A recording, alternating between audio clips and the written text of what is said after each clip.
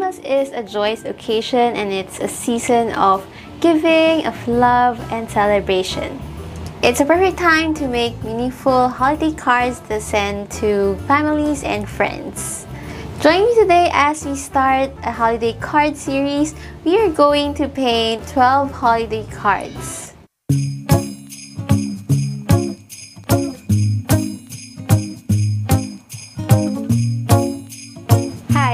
Joly and I'm a watercolor artist and online art educator based in the Philippines.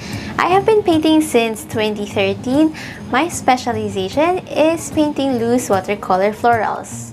I love teaching and being able to break down watercolor painting into easy steps so that it's less daunting for beginners. I have several classes on Skillshare that focus on painting loose florals.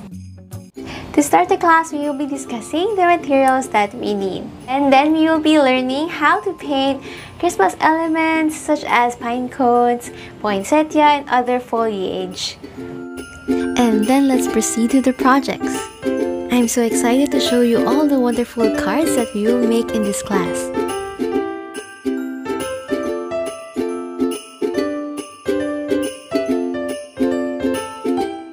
With so many different projects in this class, you will definitely learn different techniques in each project, such as doing wet on wet techniques.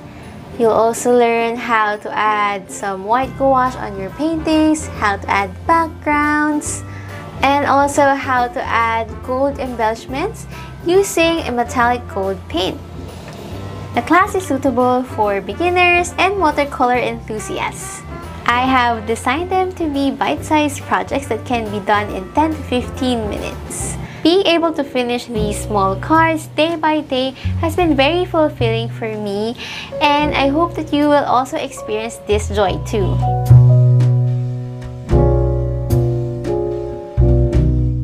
Okay, the weather is getting colder this month.